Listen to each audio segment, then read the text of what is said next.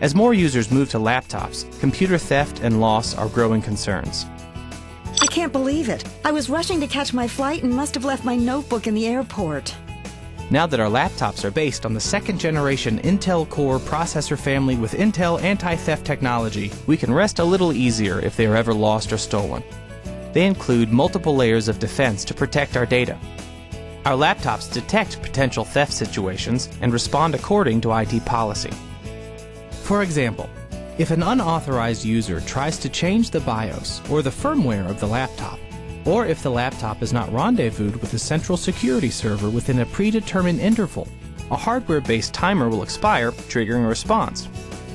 Or, if the number of failed login attempts in a pre OS screen reaches a policy based limit, it also triggers a response that can stop the OS from booting, or deletes important encryption key components, disabling data access. Or if a user calls me to report a stolen laptop, I simply flag it in our database. Synchronization occurs whenever the laptop connects to the internet.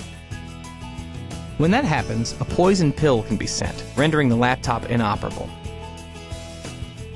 If the laptop is 3G enabled, it can quickly receive a poison pill via an encrypted SMS message. 3G connections can now occur out of band, without OS or BIOS dependencies, significantly reducing the window of time to respond to laptop theft the poison pill can delete components of the encryption keys required to access data on the hard drive. And because the second generation Intel Core processor family with Intel anti theft technology enables components of the keys to be stored on the Intel chipset, our data is fully protected, even if someone who knew the credentials tries to access the hard drive using another laptop. This leaves thieves or disgruntled employees with no means of unlocking the data on the hard drive both the laptop and the hard drive data become completely useless when disabled. A new location on demand feature enables me to query the GPS coordinates of the missing laptop via the 3G connection. I can choose to display a customized message telling anyone who has found the laptop to return it to us.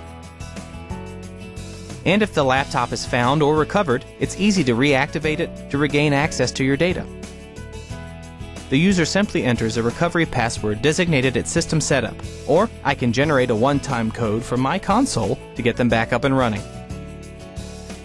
Additionally, I can send a quick reactivation command via 3G SMS out of band.